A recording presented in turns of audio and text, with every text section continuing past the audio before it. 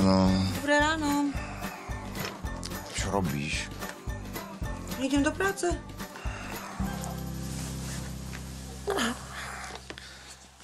To máš prácu v krabici? Nie, mám tam veci, ktoré potrebujem predtým, ako pôjdem do práce. Tu máš celé bohatstvo, prečo to nenecháš v kúpeľni? Pretože nemôžem. Prosím ťa, prečo sa nemôžeš nechať svoje hygienické a kozmetické veci v kúpeľni?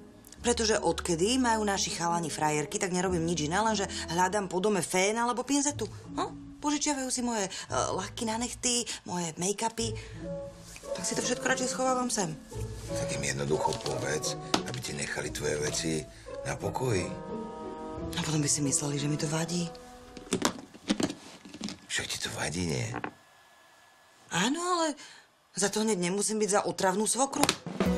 Proste len nechcem, aby si požičiavali moje veci. To je celé.